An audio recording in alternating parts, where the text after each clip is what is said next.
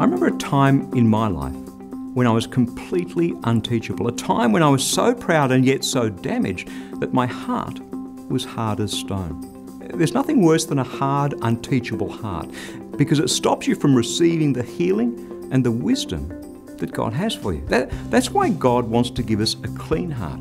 That's why God wants to put His Holy Spirit in us to heal us from the inside out, to do some radical heart surgery to remove the diseased tissue and replace it with healthy tissue.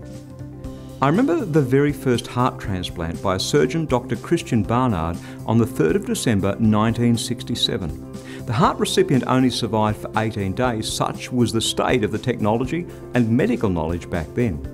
These days, whilst it's not quite a routine operation, heart transplants almost always succeed, adding years of healthy life. And that's the key. It's not just life, but healthy life, vibrant life, abundant life that we're looking for here. And that's the sort of life that God wants you to lead. But you can't have it with a diseased heart.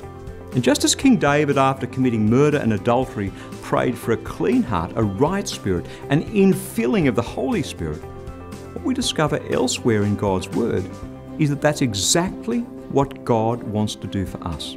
Ezekiel chapter 36, verses 26 and 27. A new heart I will give you and a new spirit I will put within you, and I will remove from your body the heart of stone and give you a heart of flesh. I will put my spirit within you and make you follow my statutes and be careful to observe my ordinances.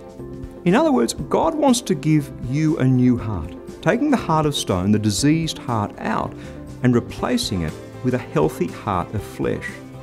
And not just a new heart, when we have that new heart, when our heart is soft and healthy again, it'll be open to receive a new spirit, the Holy Spirit, so that we can receive the wisdom of God.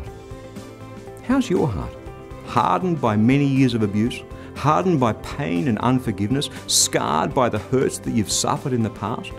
Damaged to the point that it's difficult, almost impossible, to receive the healing wisdom of God? Well, today I have some good news for you.